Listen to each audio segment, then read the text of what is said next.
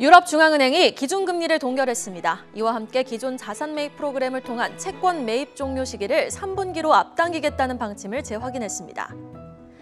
미국의 지난달 소매 판매가 전월 대비 0.5% 증가했습니다. 3월 소매 판매가 지난달보다 큰 폭으로 늘어난 것은 러시아의 우크라이나 침공에 따른 휘발유 가격 급등 때문이라는 분석입니다.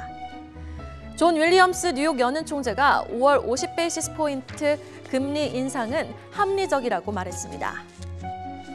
마지막 뉴스입니다. 일론 머스크가 트위터를 53조 원에 인수하겠다고 밝혔습니다. 하지만 테슬라는 3.6% 급락했고 트위터는 1.6% 하락했습니다.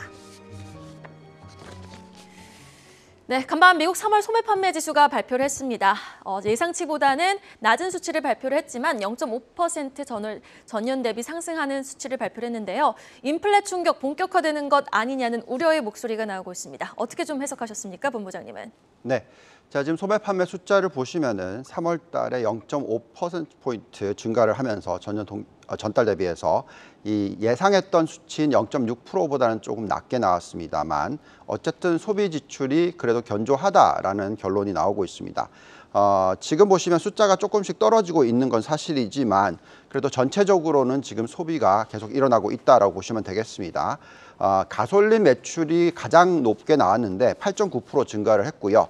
그 이외에도 어, 자파전 판매 5.4%, 전자제품 3.3%등 대부분의 어, 상승이 일어났고요. 어, 하지만 어, 지금 보시면은 이 비점포 소매업 이쪽이 마이너스 6.4%가 나왔고 자동차와 자동차 대리점 이쪽이 마이너스 1.9%의 매출이 나오면서 어, 전체적으로는 이쪽 부분 때문에 저조함이 나타났습니다. 그래도 어, 지금 보시면은 이 자동차를 제외하면 전달 대비해서 1.1% 정도 증가하는 모습 보이고 있고 가솔린과 자동차를 제외해도 0.2% 정도 증가를 하고 있는 모습이기 때문에 여전히 안전적인 소비가 나오고 있다라고 말씀드리겠습니다. 아, 또한 실업 청구권자 수가 발표가 됐습니다. 자, 이 숫자를 보시면은 어, 16만 7천 명에서 18만 5천 명으로 올라가는 모습을 보이다 보니까 조금 걱정을 하고 있습니다만 어쨌든 중요한 것은 이 4주 연속 평균을 계산했었을 때 어, 17만 2,250명으로서 어, 2천 명밖에 증가를 하지 않았습니다. 어, 이렇다라는 것은 과거 코로나19가 터지기 전에 21만에서 22만 평균보다는 훨씬 낮게 나타나고 있기 때문에 완전 고용이 일어나고 있다라고 말씀을 드리겠고요. 결국은 어, 미국의 경기는 아직은 견 조하다라고 판단을 할 수 있겠고 경기 침체 시기는 올해 내년 일어나지 않을 것이고 심지어 2024년에도 올 확률이 낮다라고 개인적으로는 판단하고 있습니다. 어, 따라서 어, 미국의 전반적인 증시 흐름을 놓고 보면은 매파적으로 변했기 때문에 어, 점진적인 상승 구간 또는 변동성 구간이 좀 더 길게 이어질 가능성이 지금 만들어지고 있고요. 오히려 그 이후에 즉 금리를 3% 근처까지 올렸을 때 그때도 경기 침체가 일어나지 않고 실적이 계속 좋다라는 결론이 나온다면 증시는 큰 폭으로 상승할 수 있는 그런 가능성이 있습니다. 자꾸 미 연준 의사들이 과거의 94년과 비교를 많이 합니다. 마찬가지로 보시면은 이때가 미 연준 금리를 3에서 6%까지 크게 올렸던 시기고요. 이때는 계속 변동성이 일어났지만 마무리되는 구간부터 큰 폭의 상승을 해서 3년 반 동안 173%나 상승하는 모습을 보여주기도 했습니다. 물론 이런 모습이 나타날 것이라는 것은 아니고요. 그럴 가능성이 있다라는 부분도 생각해야 된다고 말씀을 드리는 것입니다.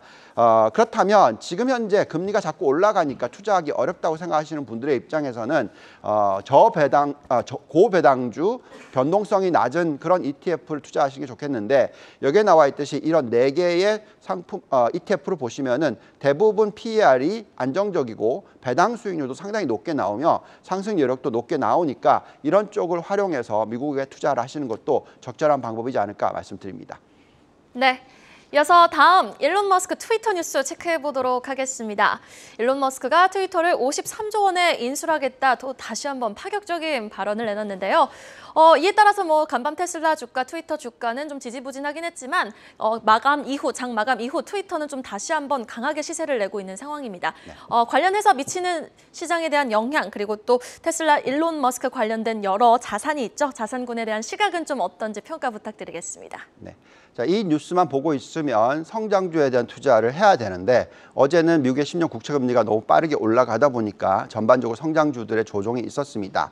그렇지만 이 이벤트만 놓고 판단을 하자면 어, 상당히 좋은 내용이죠. 어, 일론 머스크가 트위터를 인수하는 데 있어서 410억 달러를 제안을 했고요. 자, 이 가격을 생각해 보면은 어, 주당 54.2달러니까 어, 4월 1일 종가, 그러니까 9.1% 들고 있다라는 뉴스가 나왔을 때 그때 종가 대비해서 38%의 프리미엄을 얘기를 하고 있습니다. 자, 이 뉴스와 함께 일시적으로 주가가 상승을 하기도 했었지만 어, 어제는 제법 빠졌습니다. 트위터가 마이너스 1.66% 그리고 어, 테슬라 대표 주식이죠. 3.66% 하락하는 모습을 보여주고 있습니다.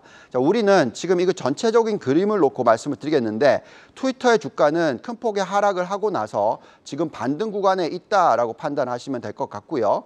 어, 또한 중요한 것은 이제 테슬라에 있어서 어, 지금 이 테슬라 전체적인 주식을 흐름을 보시면은 계속적으로 상승을 하고 있는 추세가 나타나고 있습니다. 아, 우리가 매수를 적극 추천했던 시기를 보시면은 아, 이 과거에 2019년 어, 하반기에 40에서 50달러 사이에 적극 매수 추천을 처음 얘기를 했었고요. 그 이후에 고점에 도달할 때마다 어, 이 차익 실현 일정 부분 하고 재매입하는 추천을 계속 해드렸습니다. 자, 지금 현재 이제 3차 때인데 어, 고점에 1,200달러 이상 돌파를 했었을 때는 일정 부분의 차익 실현 그리고 800달러 이하에는 매수를 하자라고 얘기를 해드리고 있는 상황이고요.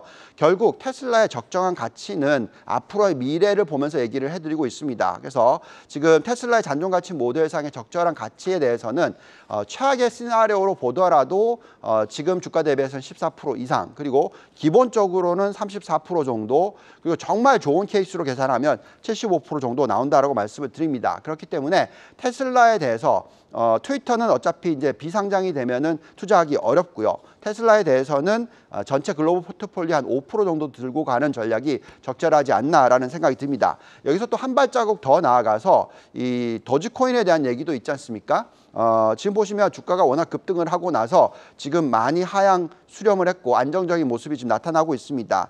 어, 또 테슬라를 보시면은 아, 아시겠지만 비트코인의 투자도 굉장히 많이 하고 있죠. 그래서 가상화폐 시장에 있어서도 어, 지금 굉장히 어떻게 보면 어, 리드를 하고 있다라고 보시면 되겠습니다. 어, 가상화폐 중에 비트코인이라든지 이더리움, 도지코인 같은 경우에 어, 전체적인 글로벌 포트폴리오의 약 한 5% 정도 어, 들고 가는 것도 적절한 전략이지 않을까라는 생각이 듭니다. 네, 알겠습니다.